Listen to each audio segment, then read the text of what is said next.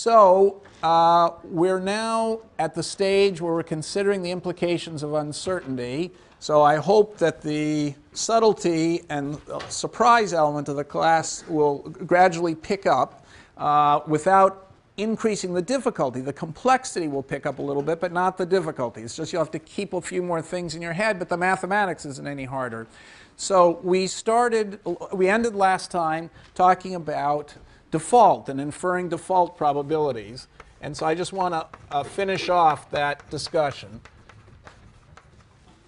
So suppose that at any stage of the tree, you know, lots of things can happen in the world. We're always going to model the uncertainty in the future by a tree with different things happening. And at each of these nodes, people are going to have uh, a discount uh, rate. So maybe it'll be, uh, you know, uh, R equals 20%, and here R could equal 15%, something like that. And we want to add to this the possibility that there's default. So if we add the possibility of default, you know, and these things keep going, and maybe there are payoffs at the end or payoffs along the way. If at any point in the tree like this one, we add a new possibility, which is the default possibility, and we assume, so this, this happens, by the way, when do people default? They never default before they have to make a payment. So when do they default? Exactly when they're supposed to make a payment. So suppose that this guy is going to default here when he's going to make a payment. You know, at every possible scenario, he would default there. So we've got a very simple uh, model of default. Okay, so not a very realistic one where the guy defaults in all of these following scenarios. Okay, so something's just bad. Once he's gotten here, you know that he's not going to make the payment the next uh, period. And let's suppose we further assume that only does not only does he default there, but he defaults on everything thereafter. So the payoff is just going to be zero here. So this is going to be, originally we had probabilities P1, P2, P3, let's say for the probabilities. Now we're going to have probabilities D for default, and then 1 minus D times all of these. Right? So essentially, what have we done? We've simply replaced, in our calculation of payoffs and present values, we've simply replaced these possibilities with probability P1, P2, P3. We added another possibility, but the payoffs are zero here. Nothing's going to happen from then on except zero. And we said that happened with probability D, which means presumably all of these have to be scaled down by that, so they still add up to 1. So essentially, the point I'm trying to make is that default uh, that uh, leads to zero payoffs thereafter after is just like discounting more. Why is that? Because whatever calculation you did for the value here of what the bond could possibly be worth there is it's all the same numbers as there were before, except we've multiplied it by 1 minus d. Okay, so it's the same thing. So instead of going 1 over 1 plus r times, you know, future payoffs, that's no default value.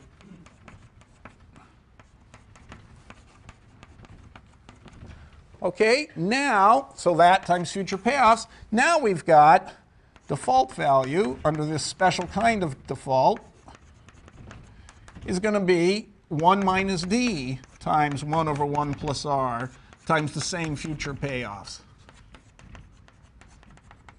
Okay, but I always could make 1, I could rewrite 1 minus d as 1 over 1 plus s or something. And so then I really have just 1 over 1 plus r times 1 over 1 plus s. So that's just 1 over 1 plus r plus s plus rs. So that's going to equal 1 over 1 plus r plus s plus rs times future values. Okay, so the effect of this special kind of default. We just get zero thereafter. You know, the guy decides after this payment, I'm not going to make any more payments. I'm default, defaulting from then on. That's the same thing when valuing the future payoffs. It's the same thing as instead of discounting by R, discounting by R plus S with a little bit R times S. You know, if R and S are small numbers, this is probably quite a small number. So default probabilities get mapped into spreads, they're called. Okay, the way to evaluate it is just, you just multiply by 1 minus d, which is the same thing as discounting by a higher number, and that higher number is almost the same. It's very close to r plus d, as a matter of fact. Because 1 minus d is 1 over 1 plus s. If d is very small, s is going to be very close to d as well. Okay, so an approx, okay, so, okay, so that, okay, so what's the implication of this? The implication of this, in a special case, special case again, where we, we don't have, we just have, you know, no uncertainty, except we have default. So here there could be D1, 1 minus D1, and here there could be probability of default 2 and 1 minus d2, probability of default 3, 1 minus d3, and we've got interest rates are 0. so this will be um, I0, IF1, IF2. Okay, so if you knew what the interest rate was going to be today, you knew what the interest rate was going to be tomorrow, you knew what the interest rate was going to be the day after tomorrow, there's no uncertainty about interest rates, they're perfectly anticipatable, but you know that there's a probability of default each time. So in stage one, this guy might default before making his payment here, in which case you're just going to get zero. In stage two, he might default instead of making his payment, won't pay the coupon, he'll just default, or in year three, he might default. Okay, so what's the implication of what we just said? Um, you can evaluate this bond, the payoffs of the bond, so let's say it pays a coupon, C, C, 100 plus C, all right, the way you would evaluate that without default is you would just take the value of the coupon, the present value would have been one, um, would have been, uh, you would have done it recursively. You would have gotten, you know, P3 equals 100 plus C. Then you would have said P2, you would have gone, in your computer, you would have said P2 is 1 over 1 plus IF2 times 100 plus c. Okay, and then P1 equals, so the value here is the 100 plus c discounted by that forward rate. Then P1 would have been c plus P2 divided by 1 plus IF1. So you take the value here times that. So this is in case there's no default. And P0 would have been C plus P1 over 1 plus I F0. Right, so that's how you would have done it by backward induction. But now that you know there's a chance that there's default, you have to, you have to not multiply by 1 plus I of 2. You have to multiply all these things by the probability of defaults. You'd have to multiply this by, if we change colors, by 1 minus d. You'd have to multiply this by 1, 1 minus d2, and you'd have to multiply this by 1 minus d1 times 1 minus d2, and this by 1 minus, uh, sorry, this would be 1 minus d3. This is 1 minus d3 uh, times d2, and this is 1 minus d1 times 1 minus d2 times 1 minus d3. Okay, so this value would be the old value you got here multiplied by 1 minus d3, multiplied by this 1 minus d3. This value is what you would have gotten here, but you've already scaled it down, so multiplied by 1 minus d2, and this is 1 minus d1. So what's the upshot? The upshot is, had you, and so then this is, okay, so that gives you the price uh, with default. Okay, so,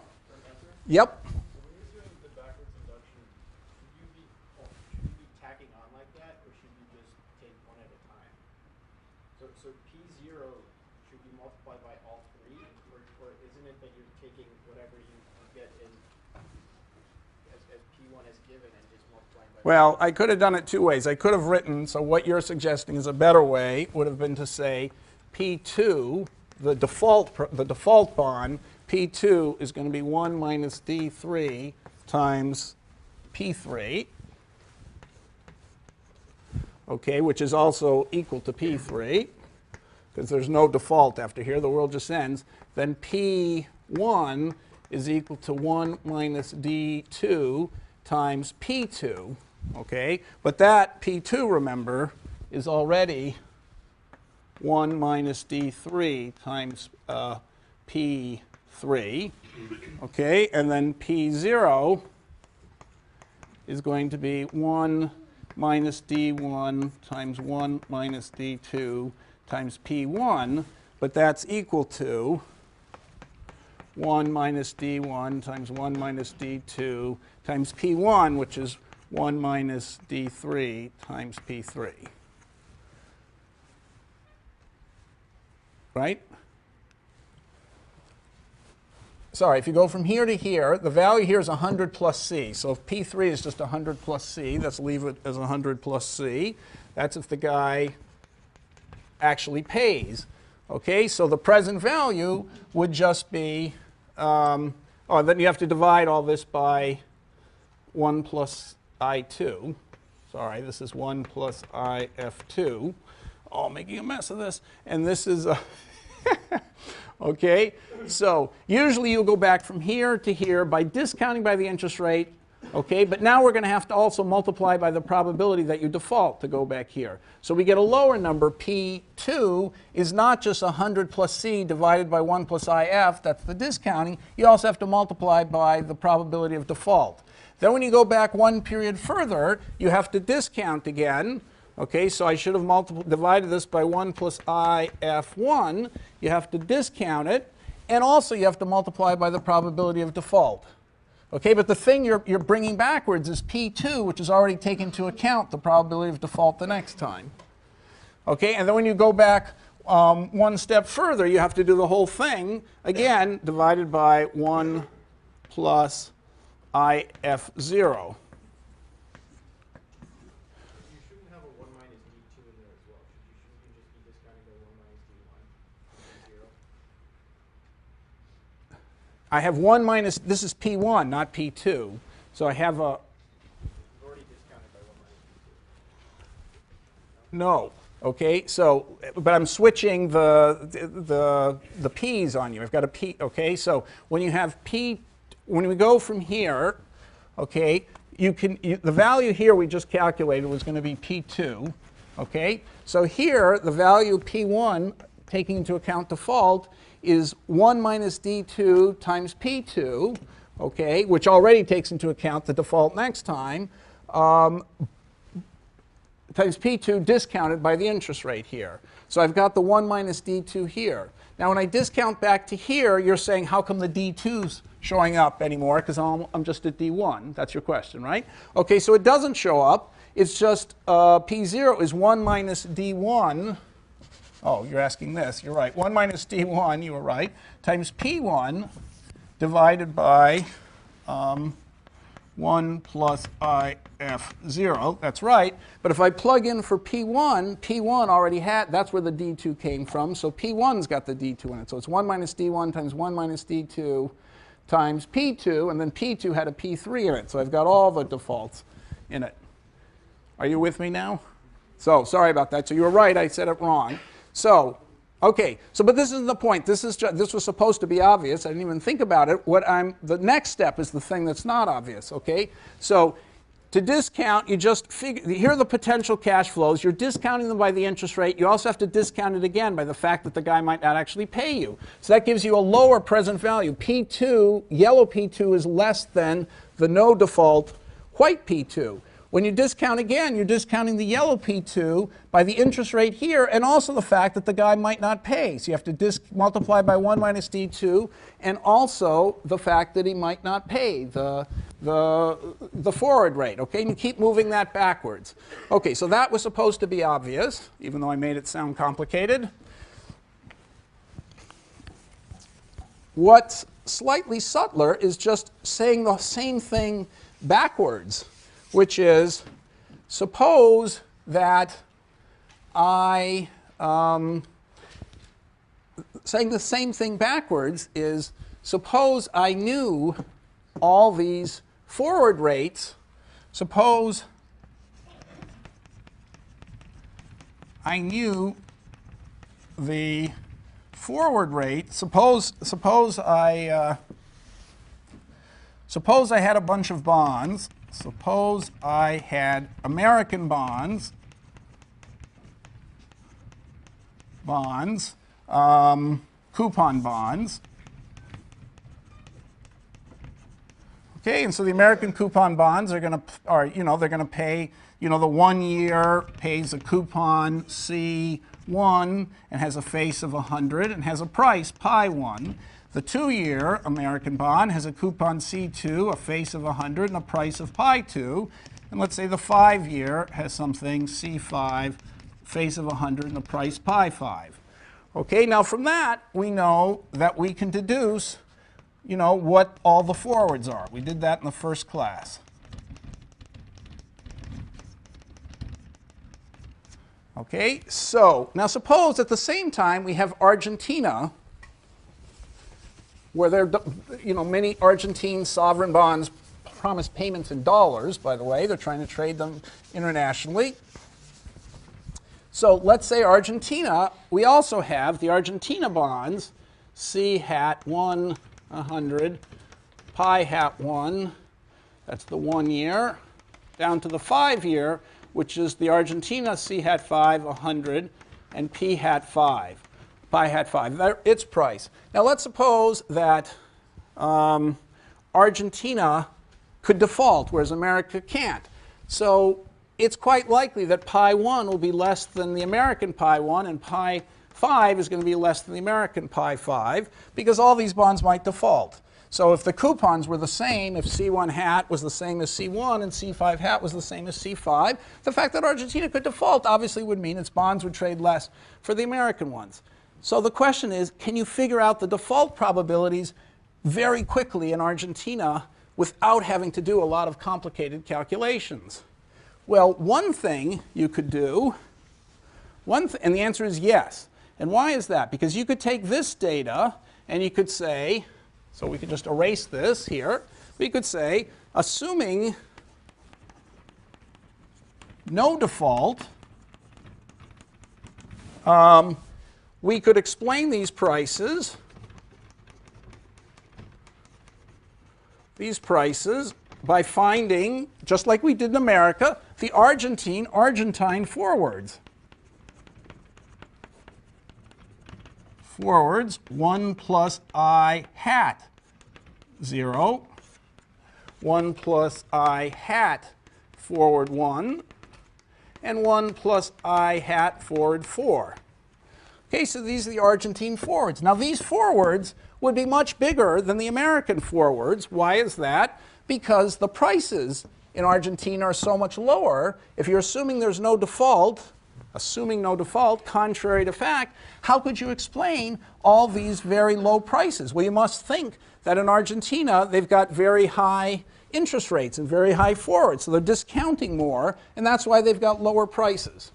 And we know how to get those forwards, assuming there was no default.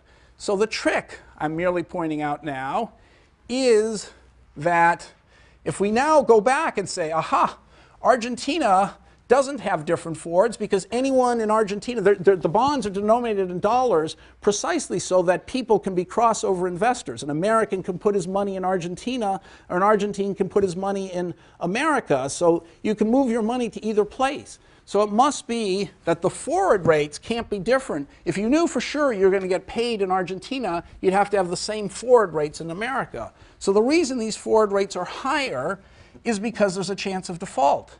So what is the chance of default? So I claim the chance of default is, and I was supposedly, you're supposed to realize this now, if I'd been clearer before, you would have got, you would see where I'm going. The chance of default is incredibly simple to find out.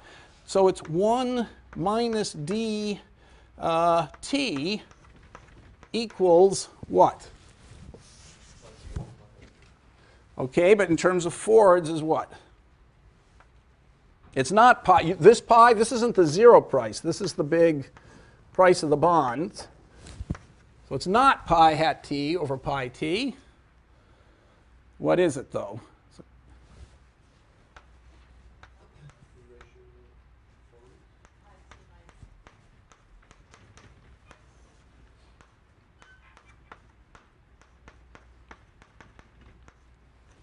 Okay, this is going to be a bigger number than that. And in fact, that ratio is the default probability.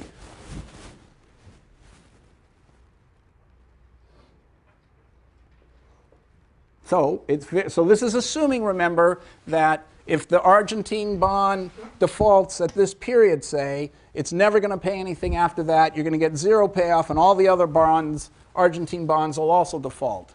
I claim that this is going to be the, uh, this is the easy way of getting the default probability. And so the differences in the forwards is just explained by the default probabilities. And so the extra Argentine interest, if this is a higher number than that, you know, this is approximately 1 minus d is approximately 1 over 1 plus d, which is, and, and so it's basically you know, this is very close to that basically if d, if all the numbers i and d are small, then i f t minus 1 is approximately i f t minus 1, the American one, plus this default rate in Argentina. Okay, so I should probably have a hat because I'm referring to Argentina with the hat. Okay? All right, so why is that true? I just argued it. How could that possibly be true?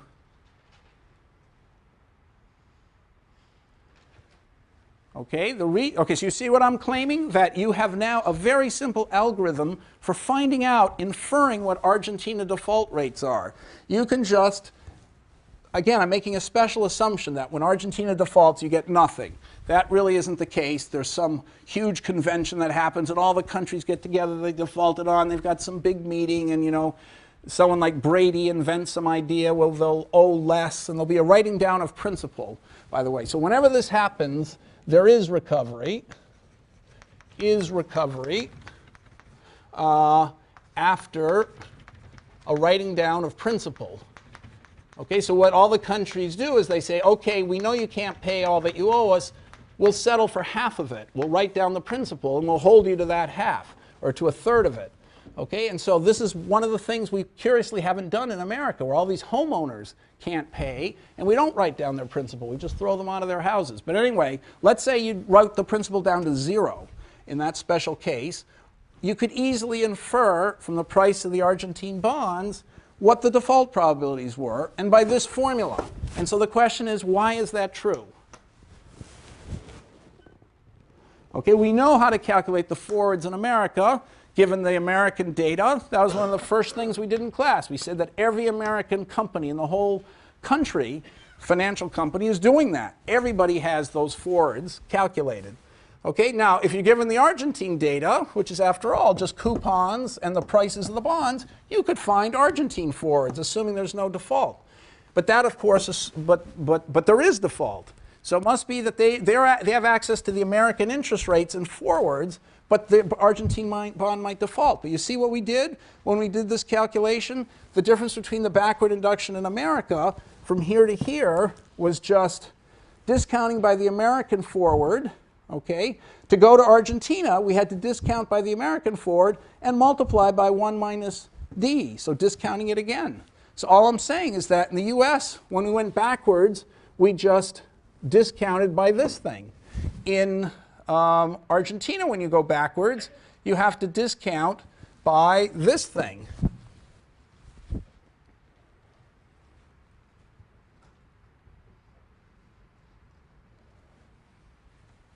So those things have to be the same. Okay, so the Argentinian discount is like taking the uh, Um, hope I haven't got the thing. See, the American forwards going to be less than the Argentine forwards. It's going to be like that. Okay, so that's it. There's nothing to, uh, else to show except that whenever you're going backwards here, you're discounting. Remember, you're discounting by the, uh, you know, the, the, the interest rate times the probability that you're actually going to pay off. And so that's what it is in uh, Argentina. Um, hang on. Hope I haven't inverted one of these. Uh,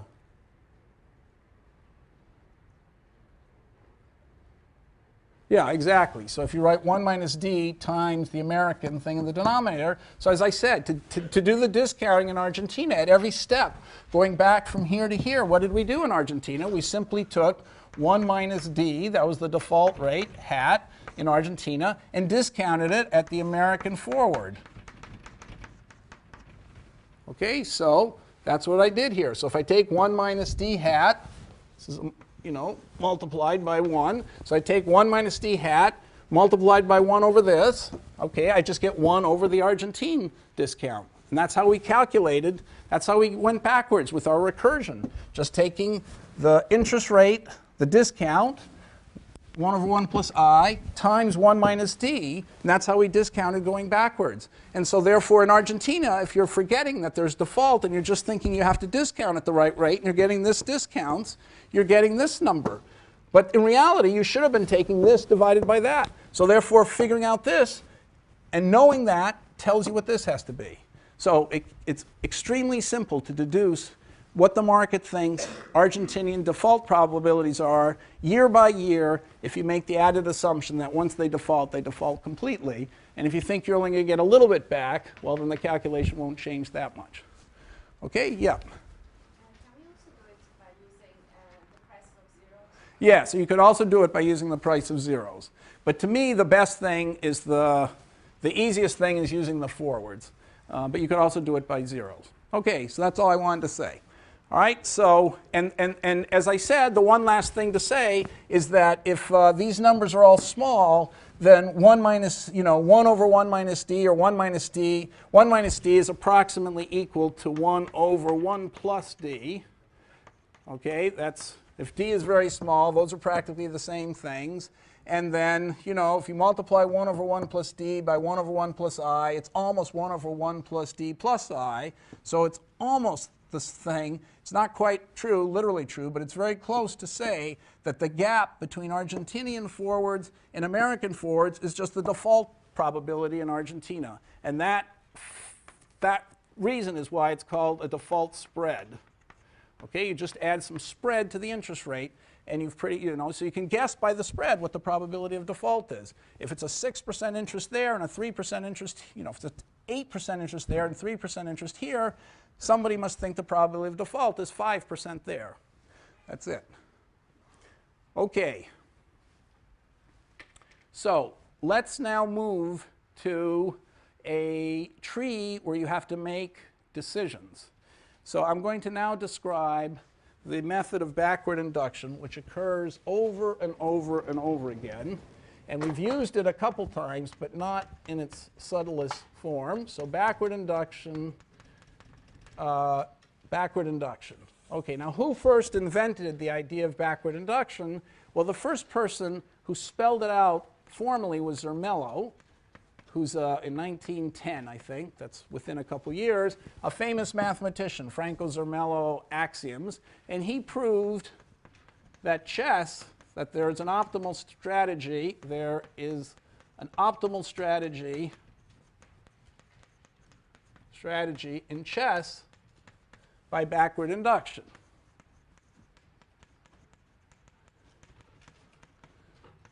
Okay, so for example, let's take a game. So we always are on a tree, but now we're going to use a slightly uh, extended definition of a tree. A tree is going to look like this. You know, there are, so it's a root, finite number of branches from every I want to formally define a tree. You know what it sort of looks like, okay? And there's no reason why the number of branches has to be two or even has to be the same from every point. But the reason we're going to extend it is the, the node is going to be descri- is going to describe by who moves. So let's say white is moving here and black is moving here. Okay, now let's say the outcomes are a win for white, a win for black, a draw, or a draw. Okay, so the question is so it's a two move chess game. White moves first, up or down. Then, after white moves, black moves up or down.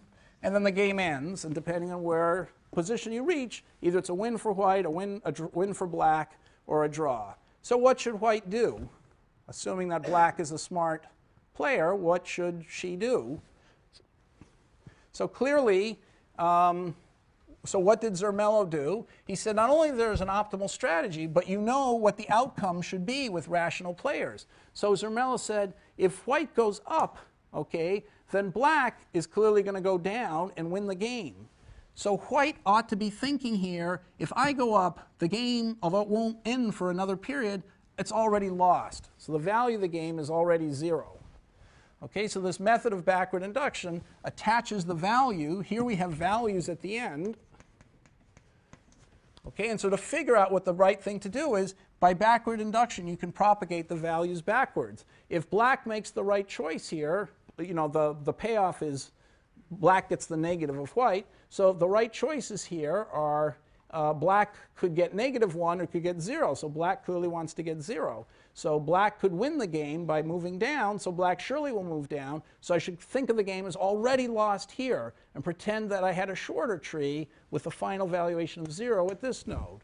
Similarly, if white goes down, doesn't matter what black does, uh, the game is going to be drawn. So white should think to himself, the game is already a draw if I go down. And now white has an easy choice. Do I want to move to a loss or do I want to move to a draw? So clearly white, so I could, I could just pick a move for black here. Clearly white is going to go down, and therefore with correct play, the game is a draw. So by backward induction, you figure out the correct play. Now, why is this surprising? Because chess has an incredibly big tree, not an infinite tree. You know, there are all these rules that keep it finite. If you reach the same position three times, it's considered a draw. If you make something like 50 moves in a row without a pawn moving, it's a draw. Whatever those rules are, I used to play chess quite a bit, I've even forgotten. But whatever those rules are, they're designed to make the game finite. So the tree is finite. And so it's impossible to see the whole tree. And how should you know what to do at the beginning? Well, you don't know what to do at the beginning till you know what black's going to do afterwards and what could happen later in the tree. But if you were fast enough to put the whole thing on a computer, you could figure out what to do at the beginning because your best move at the beginning depends on what you think black is going to do next, which depends on what he thinks you're going to do after that, which depends on what you think he'll do after that. But if the tree ends, you can always go backwards from the end to the beginning and figure out what to do at the very beginning. Okay, so this is a familiar argument to all of you, I think. It was a beautiful argument in, um, in chess in 1910, and then it was anticipated, I mean, in, in mathematics in 1910. The chess players, of course, all knew about it. So Steinitz, who was a uh, world champion from, from when to when, something like 1870 or so to, or 1880, let's say, to let's see, 1921 to 1894. I think he was world champion from then to there. Lasker became the champion then. So he wrote a bunch of uh, books and stuff in which he said, you know, there's a backward induction value to chess, but since we can't figure that out on general principles, you can tell by looking at the configuration of pieces what the right possible move is.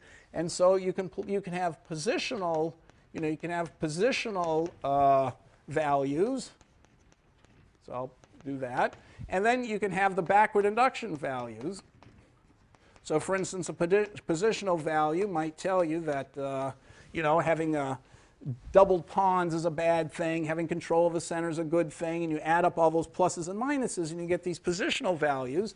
And so um, he said your positional, you know, if you've got the right positional uh, algorithm, right, positional understanding, your positional sense of what to do, you only need to analyze one move deep. You can figure out what the best position is going to be and move that way. And if you really understand the game properly, that positional thinking, that strategic thinking, so it's called strategic thinking, is going to give you the same decision as the exhaustive analysis of all the possibilities, which is tactical thinking.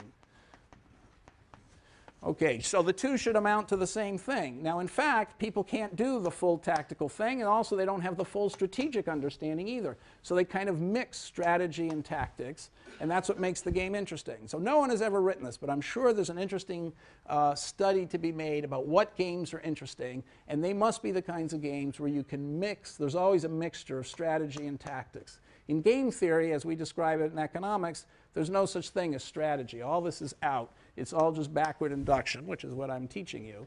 Um, so the way computers play chess, incidentally, is, and the guy who invented this is Shannon.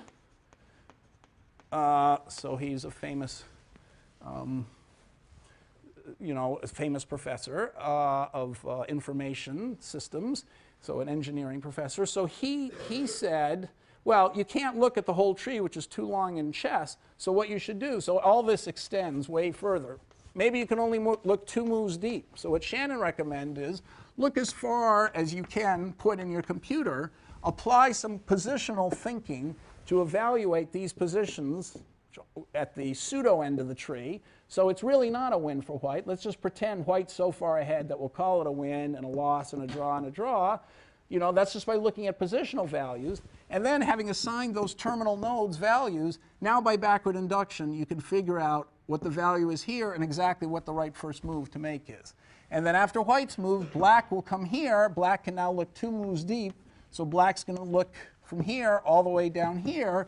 He's going to do his positional evaluator to these nodes and try and figure out what they're worth and then do backward induction to figure out what his right move is. Anyway, that's basically the idea of all chess algorithms, and then they've gotten refined by saying, well, anyway, there are lots of refinements. So I used to be very interested in this. I don't think I'll talk more about it unless anyone wants to ask me something. So there's the origin of backward inductions, Zermelo's uh, proof, and uh, you know, it's obviously a big deal in chess, and the chess players all knew about it before Zermelo, but they didn't write anything down as formal as Zermelo.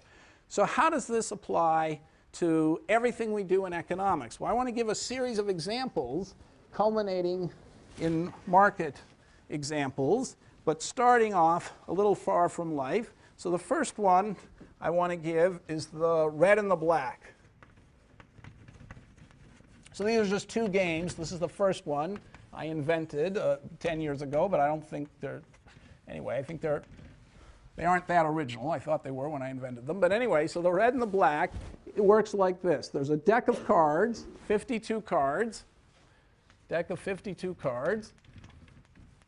And you can, um, someone offers you, so half of them are 26 red, right, and 26 black, which is all I care about the cards. And someone offers you a game and they say, okay, the deck's upside down, they've been shuffled. You can turn over a card, and if it's black, I'll pay you a dollar. If it's red, you have to pay me a dollar. So I'm offering you this chance to play this game. And of course, um, you know, you can quit whenever you want to. I can't keep forcing you to play. So anytime you want to, you can uh, quit. So that's the game. Uh, can stop whenever uh, you want. Okay, and once you draw the card, you throw it away. And so um, all these examples are going to be examples of stopping games. And you'll see in economics that you know when you prepay on a mortgage or when you call a bond, you're stopping the thing. The contract's ending. I mean, life is going on, but that contract is ending. So, want to know when's the right time to take an action like that. So, red and black is a simple game like that where you turn over a card. You, if it's black, you're in the black, you win a dollar. If it's red, you lose a dollar. And you can stop whenever you want. So you have an option. So I'll call this an option. And most people totally underestimate the value of options. So let's just figure out how to figure out the optimal thing to do. What would you do in this game? Would you play if I gave you the chance to play? I think we did this on the very first day. Yes, you're about to say something? Your hand twitched. I thought, yes. I was going to say, yeah, we have decreasing marginal utility as well. So assuming we have a percent chance of drawing either, you wouldn't play the game because uh, you would derive less utility from winning a dollar than you would uh, from in, in magnitude that the, the loss of utility you would get from winning a dollar. Okay. So I, we're, I'm, I'm going to now disagree with what you said, but it was very interesting what he said. He said, look, if you draw a card at the beginning, it's 50 50 whether you're going to win or not. If you win, you get a dollar. If you lose, you lose a dollar. 50 50 chance. You know, if you're a little bit afraid of a, if a dollar loss is more important to you than a dollar gain, that's a bad, you know, that's, that's right away, it's not very good. Uh, not very good odds. I mean, it's barely even, okay? And if you're a little bit risk averse and it's barely even, you shouldn't play, okay? But now, is it really barely even this game? Yep. Well, I mean, I think you should play because even if you know you get the first 26 red, you might, at that point just go to the end and you, you haven't lost anything except like the time you spent playing the game. So, like, you might as well play on the off chance that you'll get some black ones first. Right. So you can't possibly lose if you play this right. You can always go to the very end of the deck. We're, we're ignoring, you know, good point. We're ignoring your utility of time. So you can always go to the end of the deck and assure yourself of zero. So this is actually a pretty valuable option to be able to stop. Like he says, you can stop. Uh, if the first one's black, you could stop, and then you've won a dollar. If the, a whole bunch of them are red and you lose, well, you can always go to the end of the deck and get zero. So you're never going to lose, and you have a chance of winning. So obviously, you should play, even if you are risk averse. Um, you should play. And but now the question is, can we tell exactly? Suppose you're risk neutral. How many dollars do you expect to win? Would you guess? Yep. You'd expect to get zero. Okay, now he just made an argument that you should expect more than zero. Because, for instance, he said, take this strategy pick a card. If it's black, you win a dollar, quit. You're a dollar ahead. So, with 50% of the chime, you're plus a dollar. If it's red the first time, just close your eyes and play to the end of the game, and you're going to get zero because you're going to win 26 times and lose 26 times. So that's equal to 0.5. So there's one strategy that gets you 50 cents on average. You can't lose, and half the time you'll get a dollar. But that may not be the best strategy. Yep. You play a bunch of times, and uh, you're at worst you'll break even, and at best you could make, uh, I guess twenty-six dollars. You hit all twenty-six black. Right. Okay. So he's saying, that, you know, this isn't ambitious enough. This surely gets half a dollar, but you could do much better. Like, let's just wait. You know, the first time, suppose you get a dollar. Suppose you get black the first time. So that gives you a dollar. Now, the trouble is the deck is starting to turn against you. Now it's 25 blacks and 26 reds. So what would you do then? Stop, stop, sort of. You'd stop or keep going? Well, the, the, the deck is against you, so now your very next draw is unfavorable.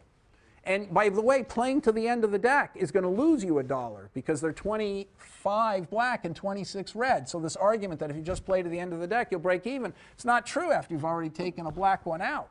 So you could lose it, you know, from then on, you're starting to run a little bit of a risk. So we're ignoring risk aversion, we're just caring about expected dollars. The fact is the deck is against you.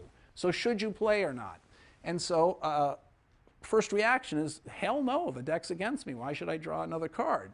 But you still have the option of going to the end of the deck. So the most you could lose is a dollar if you went all the way to the end of the deck. And who knows, maybe you'll get a run of more black cards in the beginning and make a lot more than a dollar.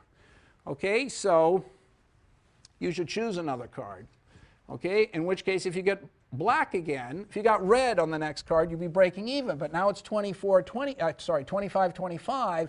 And by the previous argument, it's obvious you should pick another one because the worst you can do is break even from then. But what if you got two blacks in a row? Well, now the deck is way against you. It's 26 red and 24 black. So you're you know, now you've only got a 48% chance of drawing a black one the next time. The deck is going further against you.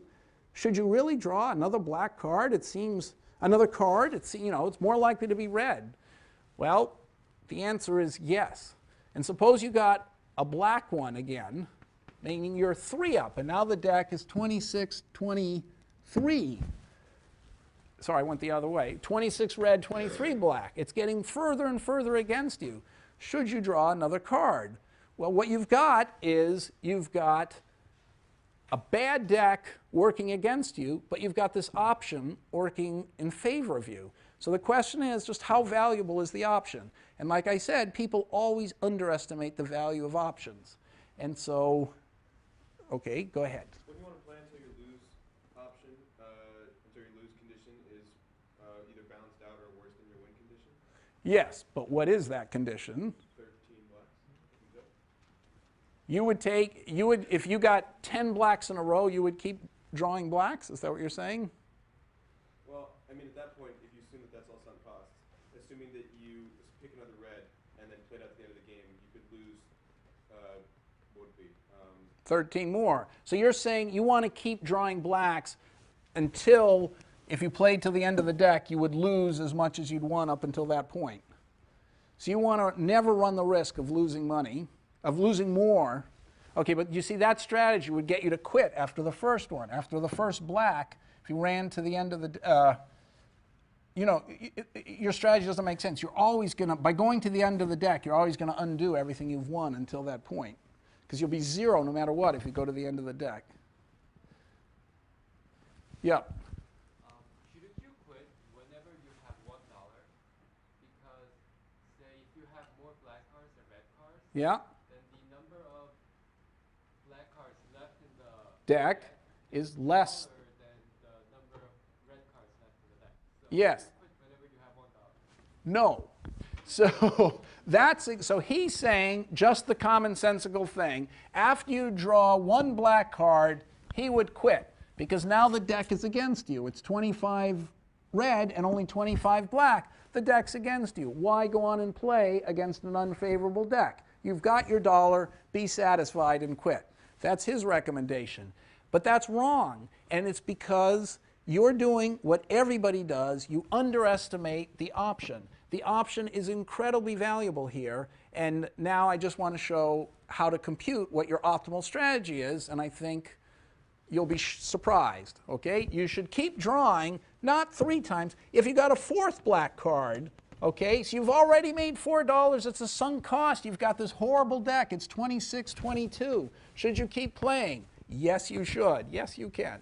If you've got, if you get a fifth black card in a row, you're up five dollars. The deck is horribly against you. Should you keep playing? Yes, you should. So anyway, um, it's really shocking, I think. Okay, so now let's just see how to compute this out so that we don't have to argue about it. It's just a little bit of mathematics, and you just see how uh, surprising this calculation is. So how would you do it?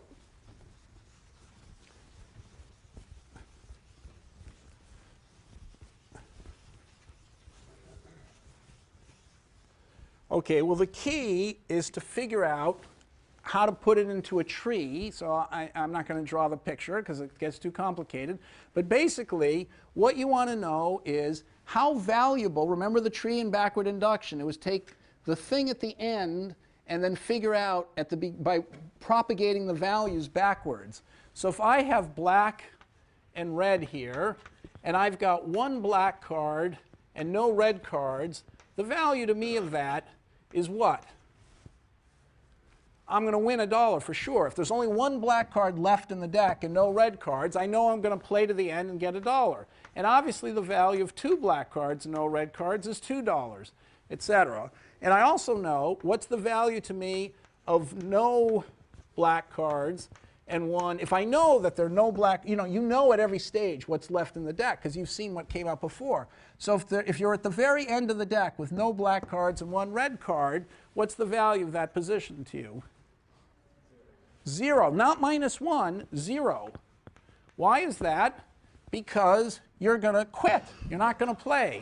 The value, and that's the critical step. Seeing that this is zero, okay, someone said minus one, that difference between zero and minus one, that's the whole heart of the thing. So zero and two, the value of that is also zero. You're just going to quit. Okay? So, what in general is the value? What is the value of V if there b black cards and are red cards? What's the value to you? Well, the crucial step is that you can choose to quit by not playing. So this is the value from then on to you. B, you know, so B black cards left, red are red cards left. you could get zero by quitting. Okay, or you could draw a card. Now, what happens to you if you draw a card? What happens to you if you draw a card? Well, with probability b over b plus r, you win a dollar, right? But then you move on to the new deck. And so what do I write? V here. V of b minus 1 and r. Okay, but with probability um, r over b plus r, you drew a red card, so that's minus 1, but then you move on to a deck that has one less red card.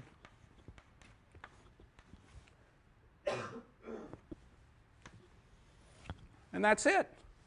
You either decide to stop, or if you've decided to draw a card, you know what the chances of getting a black card are. You look at the black cards, 26 out of, you know, if I'm, I'm, I'm down there, it's 21 out of 47. Sounds horrible. 21 out of 47, I win a dollar. 26 out of 47, I lose a dollar. So the immediate draw is terrible. But if I get a black card, I move to this situation. And if I get a red card, I move to this situation. Okay, so that's clearly, okay, so do you agree with me that that's what the value is going to be? And so if you look at,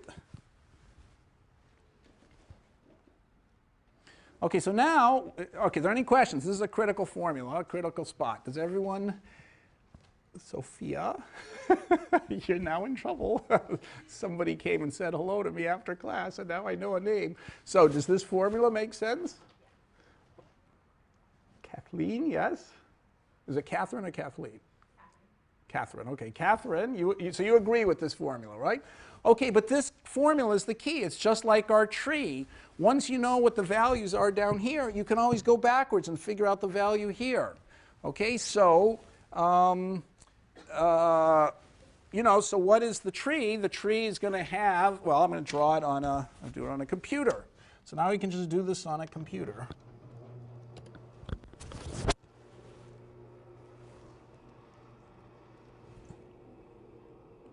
Um, I hope I don't have to do that. okay, so you have this, by the way, in your, uh, it, it, it's on the web. Oh no. Why are all these, oh, okay, there aren't question marks. Okay, so here it is. So you can see that on, on this, I can do it with this, on this thing, it's, by the way, this was a, a I did my own spreadsheet, and an undergraduate last year thought it was so messy that uh, she just redid it for me. So this is her doing. It looks much better than I did. So anyway, here are the number of cards. This is what the number of black cards left. This is the number of red cards left. And, the, and then when you go to the, you know, the corresponding coordinate like this one, this is the value of the gain when you have one black card and one red card. It's a even though there's an even deck, it's a favorable game to you. Why is that? Because you draw the first card if it's black, which happens with probability 50%, you win a dollar, so you've got half a dollar. If it's red, which happens with 50% probability, you draw the next one, and so you end up with zero. And by the way, if you got a black the first time, obviously you stop. So you get 50% chance of a dollar in stopping, or 50% chance of going to the end and getting nothing, so it's value 50%. But that's a bad way of calculating that number. She's got a much better way of calculating it. Okay, so what she said is if this is the, uh, if you had, you know, no red cards and only black cards, the value is to go to the end of the deck and just win them all. Okay, so if you've got only red cards in the deck and the top line is no black cards, obviously you should quit right away. So we've got this first thing trivially done. Now, how do you figure out this thing? Well, if you look at the formula up there, it's just the formula you wrote. Okay, we wrote, which is you could quit if you wanted to. So you have to take the max of zero. But if you go on and draw, I can't read what's written there. If you go on and draw, there's going to be, you know, the probability of red, okay, this is the probability of getting a red over the total number of cards times losing a dollar, okay, plus what happens is you then move, if you drew red, then you go to um, oh, what did she do? Um, C4, where, oh, C4 is here. Okay, right. So sorry, I was getting confused with the card. So C4 is this squared. Okay, that's the value in here. So C4 says if you draw a red card the first time, it happens with this probability, the number of reds over the total number of cards. You lose a dollar, and then you move to the position C4, which is one back here, the one where you've got one less red card and just a black card left. Okay, on the other hand, you could have drawn the first time, not the red one, but the black one, okay, divided by the total number of cards, and you would have won a dollar, but then you would have moved to the position where you had one less black card, which is D3, which is up here. Okay, so instead of doing the whole game, she says, half the time you win and you, or half the time you win, but then you move over to here and get that value, half the time you lose, and then you uh, lose a dollar, and then you move over to here. So she's done that. That same formula appears in every box. So all you had to do was just copy it. You know, it's max of zero, and then the chance that you're going to lose a dollar, which is the number here of reds over the totals, times minus a dollar, and then moving over to here. Or you could get the probability of winning a dollar with the black cards, and then but then you would end up so you win a dollar, and then you, but then you move up to here. Okay, so it's very uh, simple. Now, the okay, so so okay, so she's done it, and notice that although the deck is even at one card each, so it sounds like a fair game. It's not. It's a favorable game because you have an option. So you all understood that. But the thing is, the option is much more valuable than you think. So let's see what the value of the game is. Okay, it's when you had 26 black cards and 26 red cards. So we have to go way over to here. Sorry. Where am I going? It's not the right answer. Okay, here it is 2626. The value of the game is $2.6, not just half a dollar. You wanted to quit wherever you are at half a dollar. It's not looking up anymore. So you want, so you wanted to quit with a ha- you know after the first draw, okay? But it's much better than that. So now, what the shocking thing though is, suppose so this means with 26-26 you can you have a favorable game and you should draw. If you didn't draw, it'd be worth zero. So obviously you're supposed to draw here. If you get a black card, you're going to go here. So here you're down. You've gotten a card and you've got one more uh, you know, it wasn't that likely you were going to get black, but if you did, you know, 50% chance you go here. So you win a dollar, and now you're at this position. Now, if you were supposed to stop, you would have, uh, if you're supposed to stop at that point, what would you have done? If you're supposed to stop at that point, you would have had value zero. So the fact that that number is positive is telling you, even when the deck is against you, 25 you can't see it, it's 25 blacks and only and still 26 reds, it's still a favorable game. You should draw a card. And if by some miracle you won a dollar, you would have moved to here. So now you're 26 red and 24 black, but the game is still favorable. You should draw another dollar, another uh, sorry, another card. Okay, and if you win again, you're here. Now you've gone one, two, three times you've drawn blacks. You should still draw another one. Four times getting blacks. You should still draw another one five consecutive black draws, the card, the deck is now 26 against you and 21 in your favor, you should draw again. The game is still slightly favorable. And uh, it just seems shocking that could be the case, but this is the proof that it's the case.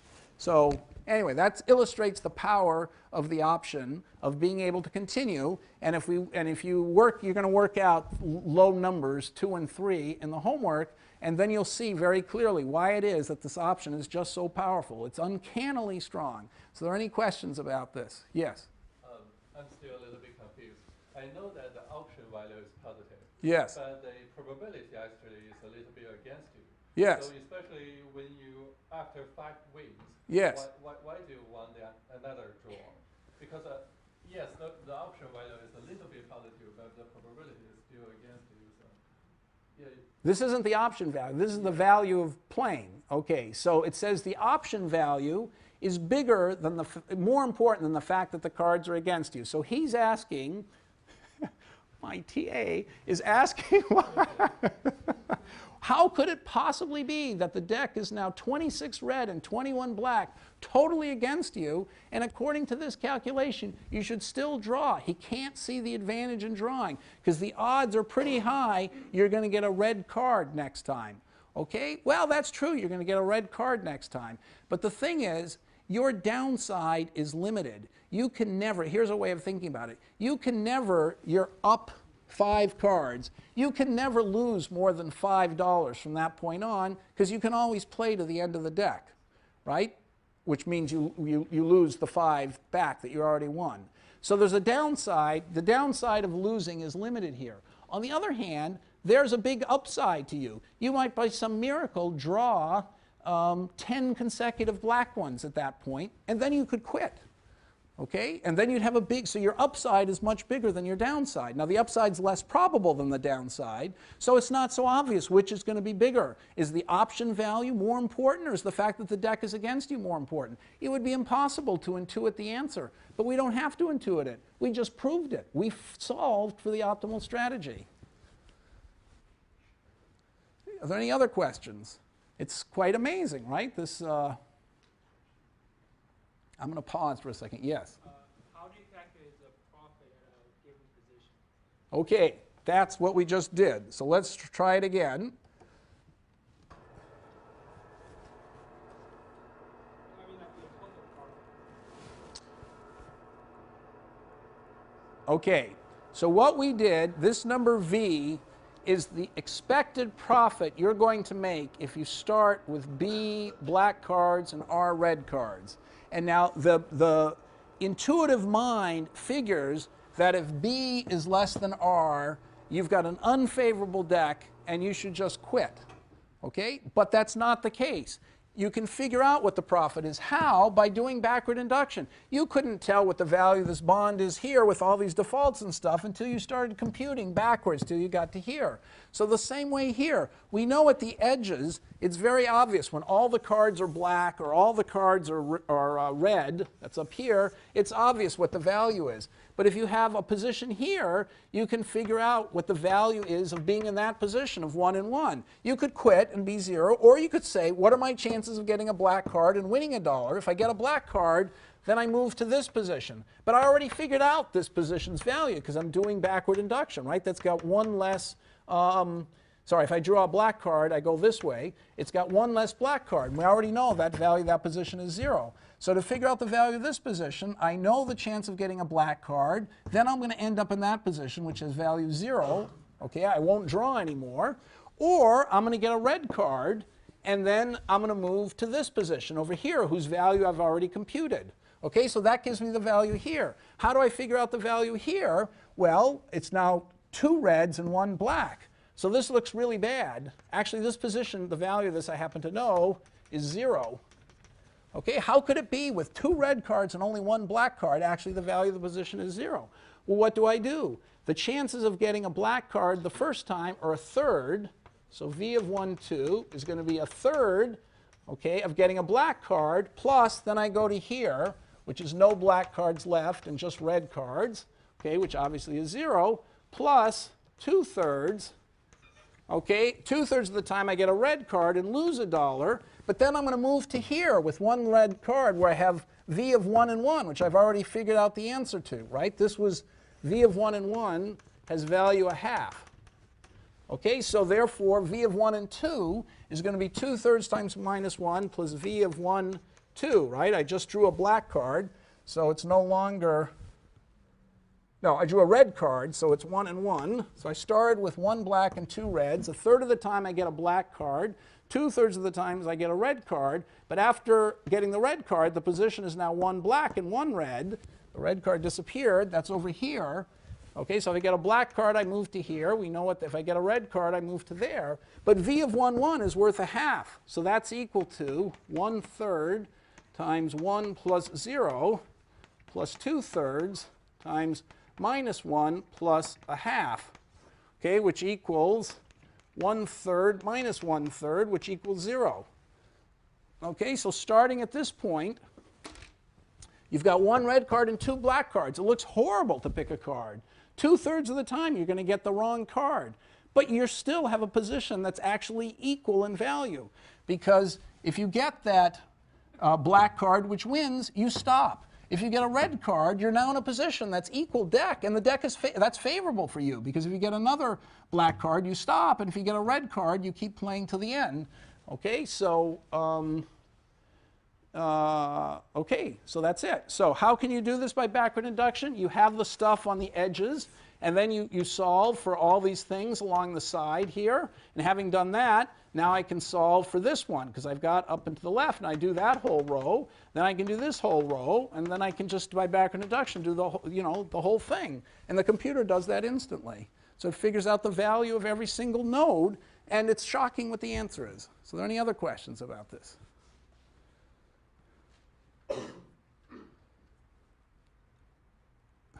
Ben, do you?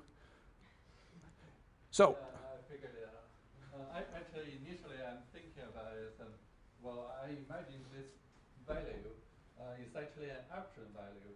Uh, for example, you could choose to play this game, and after you win or you lose, then you get an option that continue the game.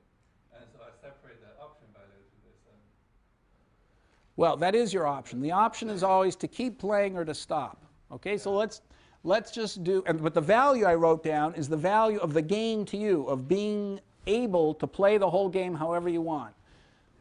Okay, so now let's do the uh, let's do another example. Yes. Would you call someone irrational who doesn't continue to play the game up to that point that you showed with the point five expected payout? Or Right. So if you got that- was that- my question is, is it preference to risk or is it actually like a, a rationality? Right.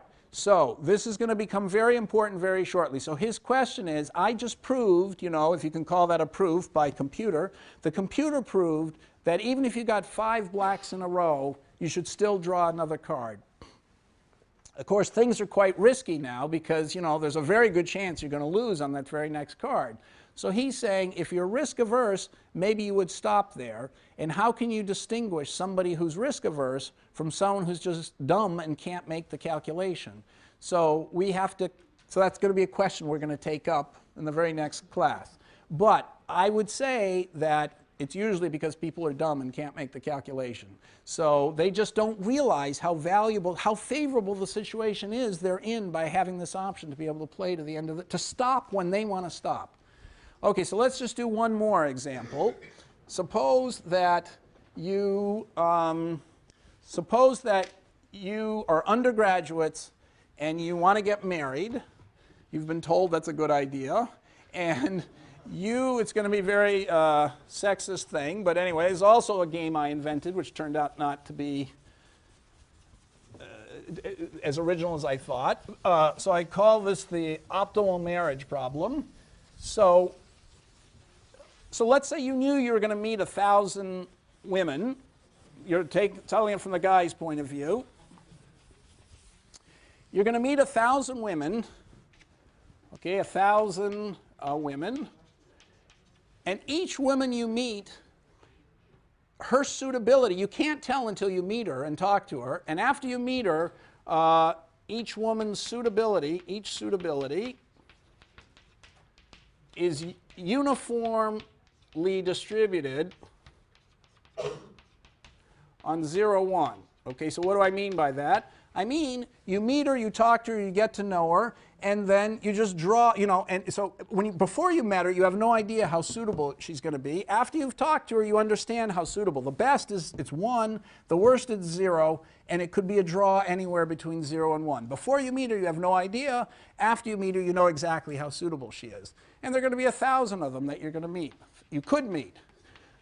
The, the problem is that after you've talked to a woman, you can marry her then, or if you move on,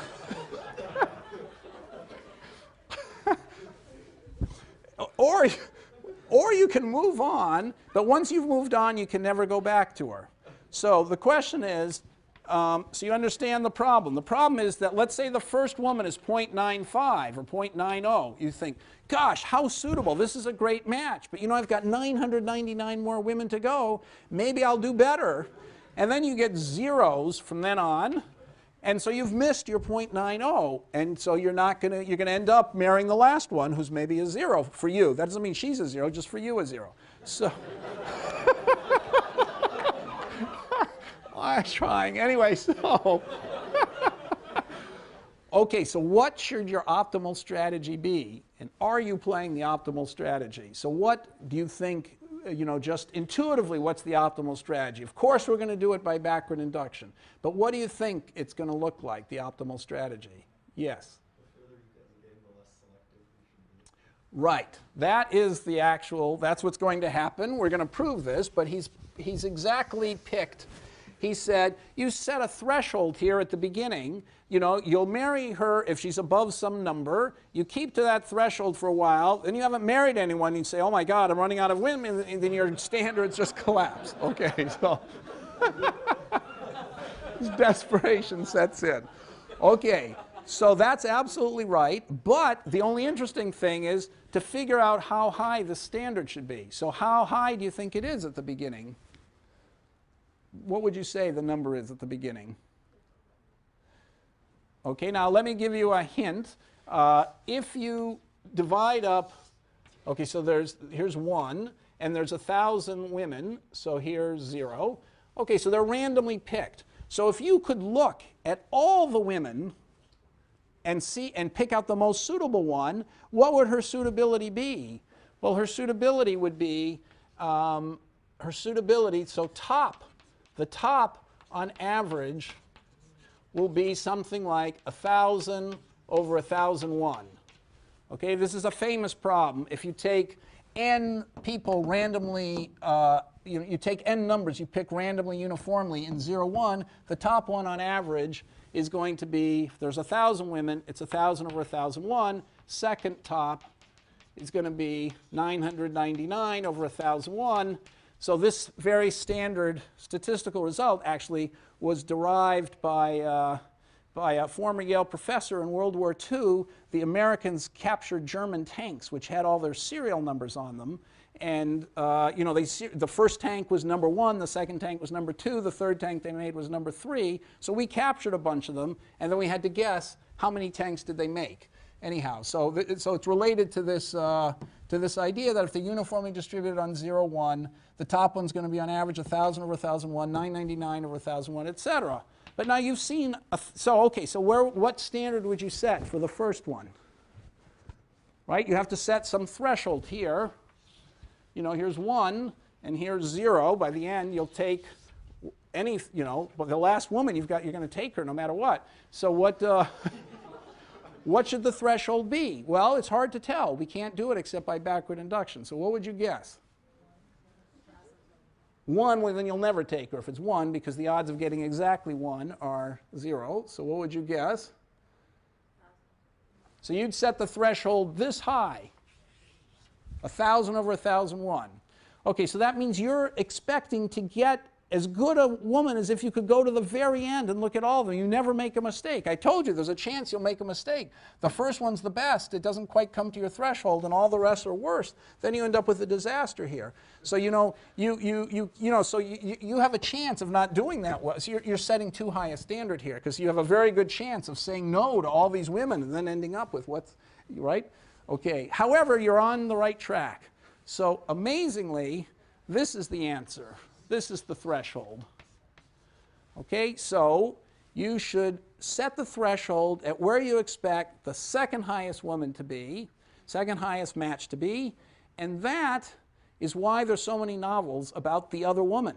Because if you're playing optimally, you should be ending up with the second best woman, and there should be one other woman that at the end of your life you regret that you didn't wait for, and but only one other woman. So anyway, I just I just want to prove this to you in the same way we proved it before, just by solving for backward induction for the optimal. So we can just do this by backward induction. We know exactly what to do, okay? So I, you know, it's one thing to say what you should do. It's another thing to prove that's what you should do, and I'm going to prove it now.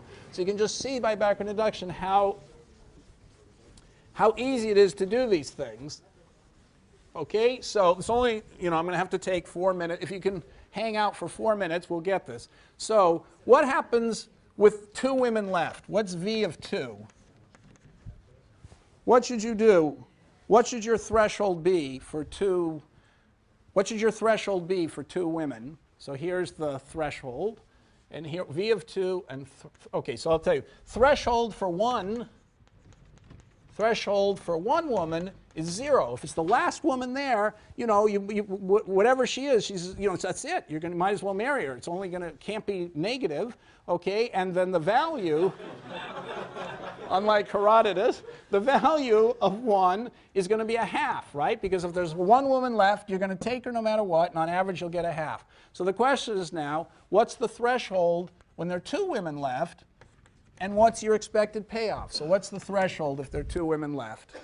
You see the second to last woman, you talk to her, you find out how good the match is. You should take her if she's above, the match is above what?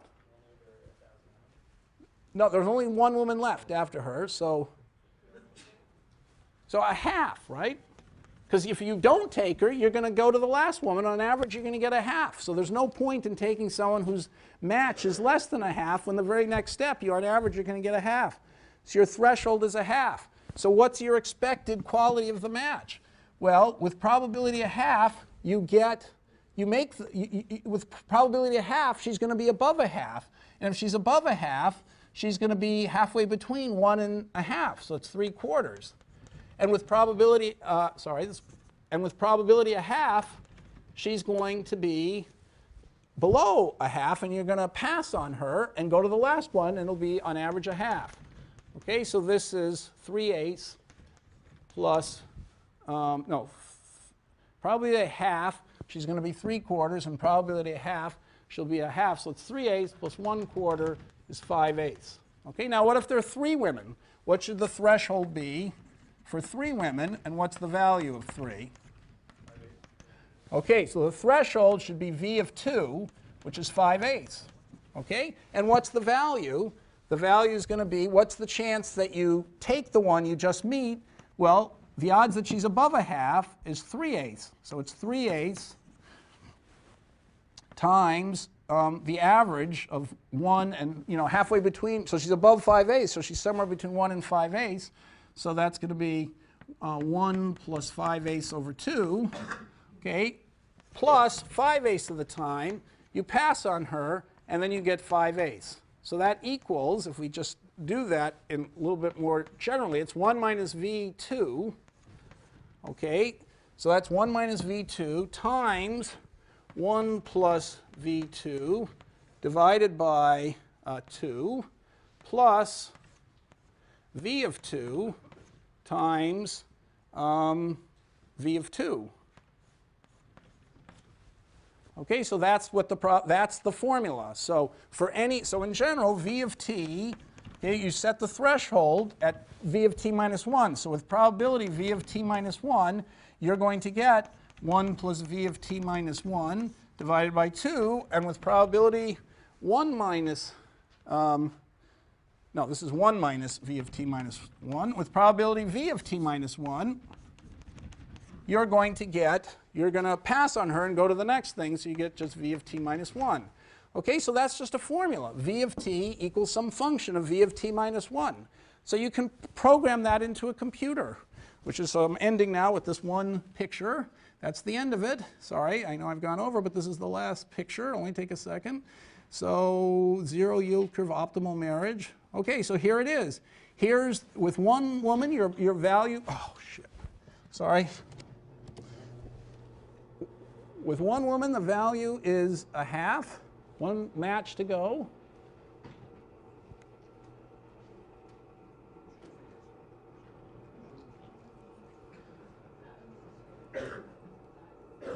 Okay, so the number on the left is with one match to go, the value's a half. With two, it's 5 eighths. With three, we computed that too. So you can tell for however many women you want. Now what I've done on the right number is this n plus 1 over, it's n over n, plus, n, n minus 1 over n plus 1.